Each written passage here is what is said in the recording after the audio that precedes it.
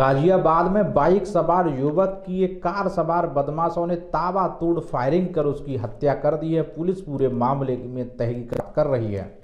गाजियाबाद के लोनी थाना क्षेत्र में डीएलएफ चौकी क्षेत्र में बाइक से जा रहे युवक पर बदमाशों ने एक के बाद एक ताबातोड़ फायरिंग की, जिसमें युवक की मौत हो गई। सीओ लोनी रजनीश कुमार, उपाध्याय की माने तो मृतक का नाम विकास है, जो कि बागपत का रहने वाला है। विकास मोटरसाइकिल से ऑफ़िस जा रहा था, तभी अज्ञात बदमाशों ने ताबातोड़ फायरिंग कर उसको घायल कर दिया। मौके पर विकास की मौत हो गई। हालाँकि विकास के दोस्त अमित भाटी की माने तो आठ से दस राउंड बदमाशों ने फायरिंग की थी। मृतक विकास के सर पर गोली लगी। हालाँकि पुलिस पूरे घटनाक्रम की जाँच में जुट गई है। इस घटना के बाद पूरे इलाके में दहशत का माहौल है। सुधाकर सिंह गाजियाबाद समाचार 24 तो ऑफ़िस के लिए जा रहे थे यहाँ पे उनको गोली मार दी।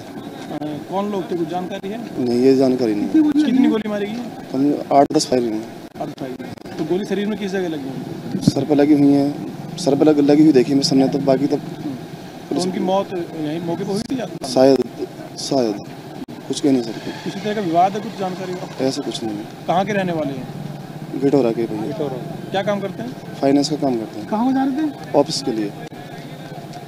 पास में एक शूट आउट हुआ है उसमें विकास पुत्र रामे नामक व्यक्ति अपाचे मोटरसाइकिल से आ रहा था। दो अज्ञात व्यक्तियों के द्वारा बताया जा रहा है कि उन्होंने उसे शूट कर दिया है जिसकी हॉस्पिटल में मृत्यु हो चुकी है।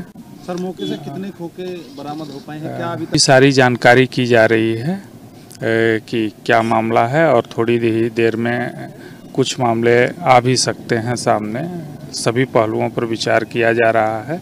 अभी तो डेड बॉडी पोस्टमार्टम के लिए भिजवाई जाएगी जिससे स्पष्ट हो पाएगा कि एक्चुअल कितनी गोलियाँ लगी हैं उसे। जालौन के कोच में एक मकान